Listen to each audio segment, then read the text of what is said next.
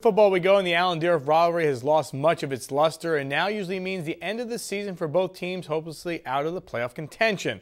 This past Saturday's edition featured a lopsided win by the Huskies, but the game also marked a special milestone from the Dieruff football program. Tom Meikrantz has that story.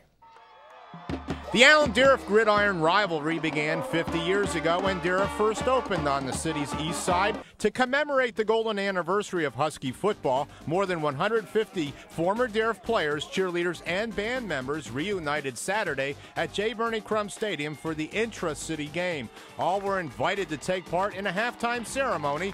Mike Marcks was among five former coaches waxing nostalgia. When you saw people that you hadn't seen in uh, 20 years, 15 years, walk in, it just gave you chills. And, and the stories that were told there can only be told at a place like that, at a reunion, a gathering like that. Bruce Trotter, coach of the 79 undefeated team, Ted Steiner, Larry Lewis, and Jeff Hannis were the other coaches on hand, while the most notable ex player, former Buffalo Bill Andre Reed, was not there. Some others who played professional football were. Mark McCants played for the USFL Philadelphia Stars. It's a great tradition. It's something that, you know, seeing a lot of these guys uh, really brings back some great memories, hard work, a lot of effort, and uh, camaraderie. Another former USFLer, George Atiyeh, who was all SEC at LSU, never forgot what Husky pride means. They get you playing beyond who you really are.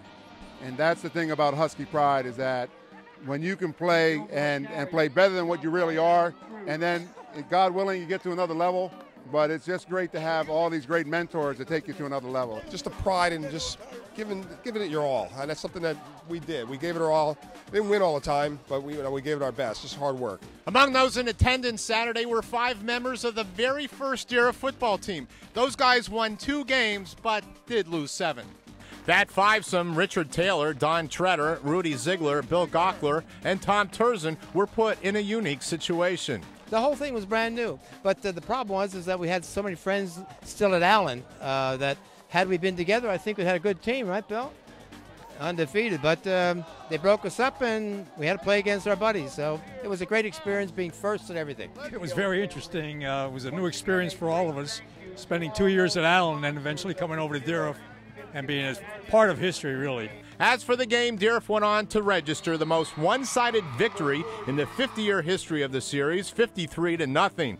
Allen hasn't won a game since a win over Dieruff in 2006. The Huskies won two games for the first time since 2004. Neither team has had a winning season for years, and the game no longer enjoys the build-up and prestige of being played Thanksgiving Day. Atiyeh hates to see both programs languish in futility. It's just a matter of turning it around. Uh, there's no question that the athletes still live in Allentown, uh, and there are great coaches. So I think it's chemistry, but I think once the chemistry comes together, that this area, you know, of Allentown will have uh, some great, great performances in, in, in days to come. More than 250 alumni enjoyed tailgating prior to the 2 p.m. kickoff. Many made plans to meet afterwards in groups at various watering holes and restaurants to continue the day long celebration. Tom Meikrantz, 2 Sports. Yeah.